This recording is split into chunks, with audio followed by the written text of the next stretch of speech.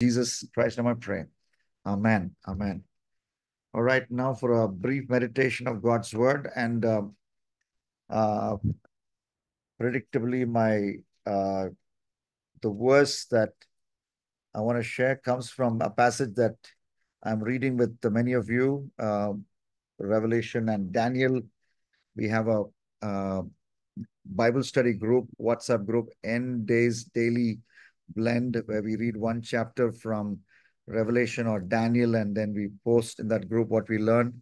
And God has been speaking to me from that book. And I want to read the last verse of the book of Daniel.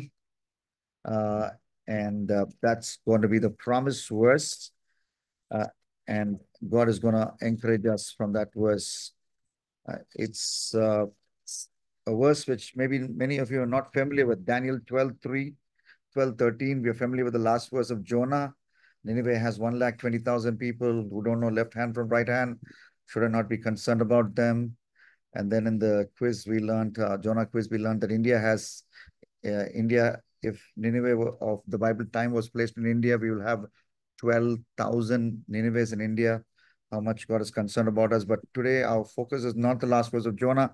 We are reading from Daniel, the last verse, Daniel 12, 13. But go your way till the end. Go your way till the end you know, that's something which uh, we perhaps want to tell uh, Manu Bak Bhaker, uh, okay, uh, Manu Baka. Two bronze medals already in this Paris 2024 Olympics. She's got one more a, uh, event starting on August 1st and then final on August 3rd, uh, the 25 meter pistol. Hopefully another medal there. So we say, go your way till the end, Manu. And God says, go, but but go your way till the end. But meaning others may not go go the way. Uh, but you go your way, not it's it, it, the God is very clear. Go your way till the end, and you shall rest and stand in your allotted place at the end of days. So uh, you know, basically, God is saying, keep going keep going. Don't get tired. You know, you've started well. You're doing several things right. And with the help of the Holy Spirit, keep going till the end. Don't slack down. Don't, don't, uh, don't backslide. Don't slow down. But go your way till the end. You know, you've started a great life in the corporate world. You have you have started well as a student of a college. You started well you know, in your family, there are several, there are things that you started. Go your way till the end, God says. But you started that early morning prayer, early morning study of God's word. Go your way till the end, and you shall stand in your allotted place. There is a allotted place I have for you. You shall stand there at the end of days. Okay, that's what God says. Now, uh, what is the context of the book uh, of this passage? Uh, I want to use the scholarship of Tremper Longman 3. Uh, Tremper Longman 3 is to the Old Testament books what Surya Kumar Yadav is to T20 batting. Uh, he's an expert. He spent several hours studying the Old Testament. Tremper, and Tremper Longman 3, uh, the third. Uh, so what he says is here, Daniel is seeing his final vision along the Tigris River. And you need to see Daniel 10 4 to understand this. Uh, and uh, when you see Daniel 12, 5, earlier uh, part of this, uh, you know, this verse, the earlier part of this same chapter, Daniel, eh, there are few characters in this final vision. Daniel, two unnamed heavenly figures, okay, and they are on two sides of the Tigris River, and then there is a man in linen above them, okay, and they are and and this is the setting. Two heavenly figures river in between a man in linen at the top and daniel watching the whole thing. So that's what happens from daniel 12 5 all right? And daniel uh, overhears a conversation. And the question is and that's a question that all of us have. Daniel 12 5 how long how long it shall be till the end of these wonders? How long? 12, Daniel 12, 6. How long will you know, for example, verse 3, verse 2 says, Daniel 12, 2 says, And many of those who sleep in the dust shall awake, some to everlasting life, some to shame and, and everlasting contempt. Okay, it's talking about the day of judgment. How long till the day of judgment? How long till the climax of history and uh, and the day of judgment unfolds? How long should I keep on suffering? Because Daniel writes in the context of Babylonian exile, 70 years in exile. How long will this problem last? This problem I am in, how long will it this problem last? Till God's judge justice comes, till God's rescue comes at the end of time. You know, that's the question. How long? How long? And uh, that's the conversation that Daniel overhears. And then Daniel joins that conversation and, and, and he asks the same question. How long? Okay. Uh, that's in verse 6. And Daniel also uh, asks the same question. Uh, uh, verse 8, Daniel 12, 8. Oh, my Lord, what shall be the outcome of these things? You know, Lord, you're showing me so many things. What shall be the outcome? What will be the what will be the final result? So right now there are you have several questions and you have several things that are in your mind and you're hoping that God's will God's ways will become clear. That's what you want. That's what that that's the that is what is going on inside you. And to you, God says, go your way till the end, which means you you need to take things one day at a time. You know, you we wish that God will show everything, the blueprint of everything, the the the xerox of the what's going to happen the next 10 days of our life next 100 days of our life next 1000 days of our life next 10000 you know uh, however long we, we'll have a xerox of what's going to happen hour by hour minute by minute second by second but that's not what god is saying god is saying you started well you know me you turned from your sin you trusted me as your savior uh, uh, uh as your savior uh, and you, I, you need to keep walking. Go till the till the end, and then you will get the allotted place. So that's the promise. All right. Uh, but this promise, okay, was given to a man who fulfilled several conditions. And his name is Daniel. We know his name. All right. And uh, what were some of his characters? Okay. Daniel, first of all, was a man of great patience. Because here in this passage, we don't have time to split up all these uh, verses. Uh, it would take a separate Bible study for that. You know, there are several numbers in Daniel. Uh, Daniel 8, 14, 2,300 evenings before such and such a things will happen. That's about 1,150 days. And then in verse 7 of chapter 12, uh, three and a half years. Okay. And then verse 11, 1,290 days. And then verse 12, 1,335 days. So four mentions of dates and all are almost similar, but then not exactly similar. So that reminds me of the larger message of the Bible. We approximately know that Jesus, Jesus, we are we know that we are in the last days, Jesus is coming, but we still will not know the exact day when Jesus will come. So he uh, it's it can he can come at the end of 2,300 evenings or uh, three and a half years uh, or 1,290 days or 1,335 days. Again, these are all symbolic numbers, meaning nobody can, you don't know the exact time or hour he comes. That's that that's what he explicitly said. So with this, what he said explicitly, we come back and interpret these numbers. So uh, it's deliberately left vague. No two numbers are the same, which means we don't know when these things will happen, but you need to keep going with patience. So that's the first thing. Are you a patient person? God has given you a promise. Do you have patience to continue doing the little things that you have done with the help of the Holy Spirit? So that when you keep doing these those little things, those little disciplines, the running away from temptation, all those little things, you know, so that at the end of that journey, you know, the the, the promise that God made made to you will uh, will be fulfilled. And then Daniel was a man of whole purity.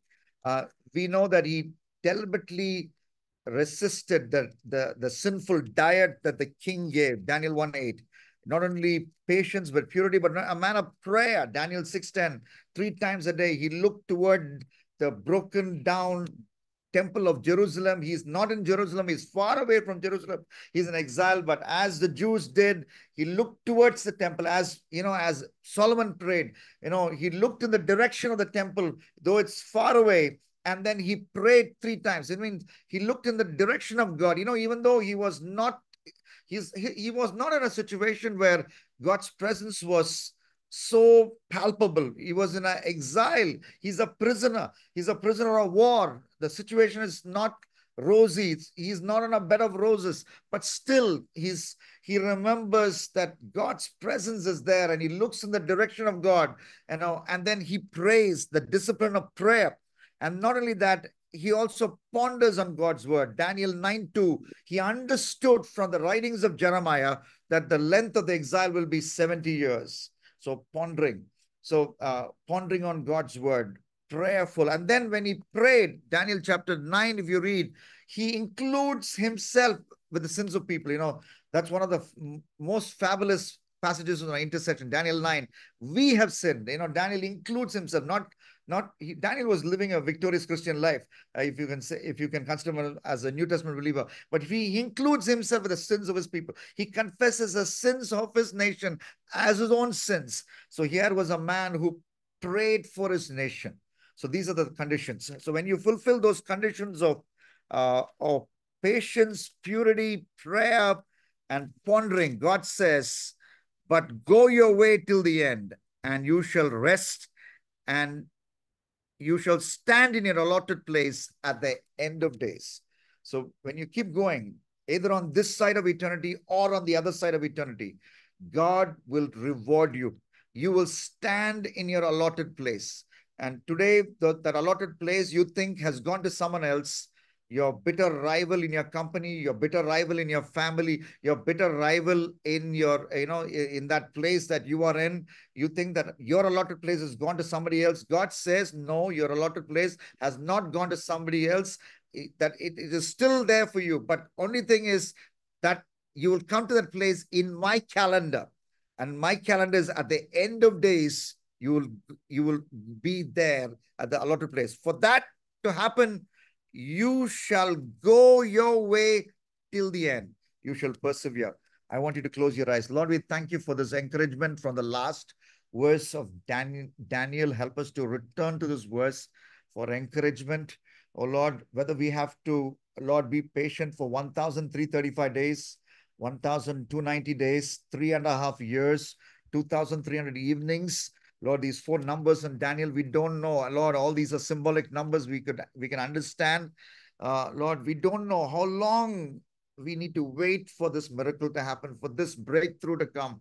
Lord, uh, for for justice to be, Lord, given to our Lord, given to us, and punishment to be given for our enemies. We don't know. Uh, we don't know when you're going to return and Lord, save us from the literal hell that we uh, that we are in. Sometimes this hell thinks of makes us think of committing even suicide. Lord, lending our lives, wishing that we didn't exist in this world, wishing that we run away from this situation because this is so, Lord, uncomfortable, oh Lord, the situation we are in.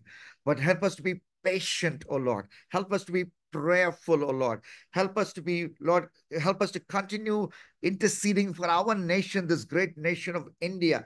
Help us to, Lord, continue to intercede for the people group you've called us to share the gospel with, the Google generation, Lord, or the uh, Lord, whichever group that you've called us to, oh Lord, Lord, that that we continue to pray for them, read about them, research about them, and pray for this people group, oh Lord, working, be it working professionals or be it college students or Lord, be it the entire nation or be it a church congregation, whichever group group you're called us to minister to. Help us to do it passionately. Help us to pray for them. Help us to identify their sins, that people group sins, uh, Lord, uh, and and and confess their sins as our sins, oh Lord.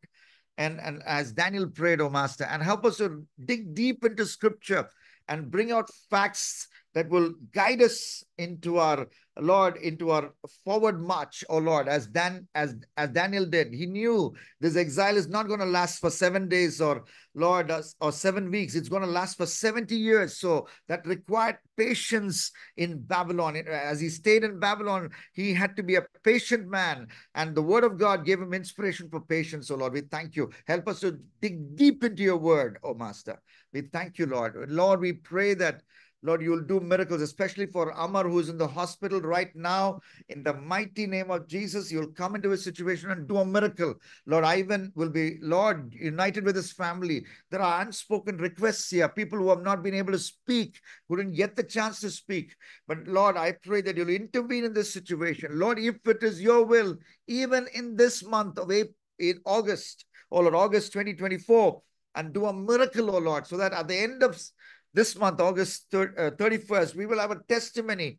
Lord, Lord, in this very same meeting, we will testify that God has done this for me, and I want to give him the glory, oh Lord. We thank you. You're able to do that, oh Master. Hallelujah. We want to thank you. Bless everyone who has joined this meeting. Lord Ivan, Chandrani, John, Pratyusha, Jaya, Lord Hannah, oh Lord Shirley, Lawrence, Anu, Lord Namrata, Javestine, Lord Navi, Naveen, Chelsea, Lord Vikas, uh, Praveen, AJ, Lord, uh, this uh, unknown friend, Lord Ashish and Michelle, Lord Sue, Kevin, and Rupa. We thank you for everyone, oh Lord, and we thank you for even the testimonies, uh, Lord, uh, even for the chat messages. We thank you, Lord, even for the interview that uh, that one of us is going to face. Lord John, I pray that you that he will face, he will have success because you are going before him and making all the crooked paths straight. We thank you. We give you all the glory, honor, and praise. We ask this with thanksgiving in Jesus' matchless name. Amen. All right. Thank you for joining. Such a joy to meet all of you. Ivan also joins uh, me in saying good night to each one, each one of you. And um, God bless. Such a joy. Bye-bye. Thank you. Amen, Bye. Pastor. Thank you. Amen. Bye bye. So Thank grateful, you. Pastor. May the